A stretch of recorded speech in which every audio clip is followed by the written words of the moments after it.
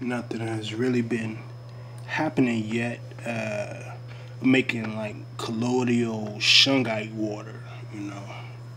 Trying to see what's up with these fullerenes and, or, or these buckyballs, whatever they call them. So I've, I've been adding more and more elite shungite to the bottom of the water. It's because uh, shungite is highly uh, conduct conductive. So got my three nine volt batteries.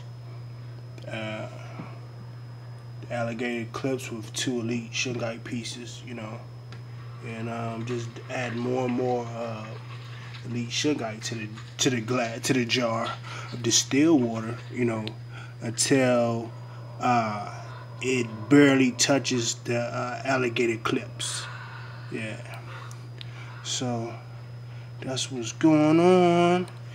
So regardless if anything uh, happens, uh, they say if you keep elite shungite in water, that's how it absorb absorbs the uh, fullerenes or aka buckyballs.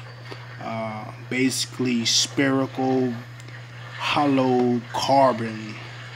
It's not too much scientific stuff that I've seen on shungite. It's just like old stories of shungite growth uh, is two billion years old. You know the basic stuff. Two billion years old.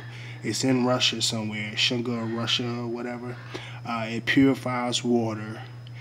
That's what the Russians say. Who knows if Russian water is the same type of quality and meets the same standards as water over here in the U.S. So who knows? But uh, the only way to find out is to try. That's it. Peace. Perfect balance, past, present, and future.